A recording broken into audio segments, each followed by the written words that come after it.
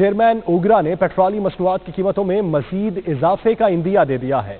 कौमी असम्बली की कायवा committee petroleum के इजलास में कहा कि 12 हफ्तों में आलमी मंडी में तेल की जो कीमत बढ़ी, उसकी नजीर नहीं मिलती। रुपए की कदर में भी कमी वाक़ हुई। इसी हवाले से मजीद तफसलात जानेंगे। अपने नुमाइंदा राना तारिक से। राना तारिक, क्या खदशे का इजहार किया गया है? कितना इजाफा हो सकता है?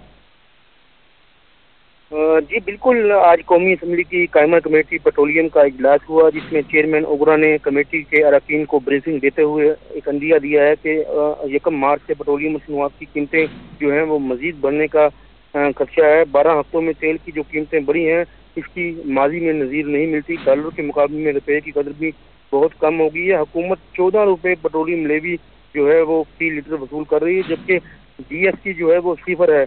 इसके साथ साथ उनका ये भी कहना था कि खजाने में जो पैसे आने हैं, वो कॉम्प्रोमाइज हो रहे हैं। रूस की सूरत हाल इस वक्त आप सबके सामने है।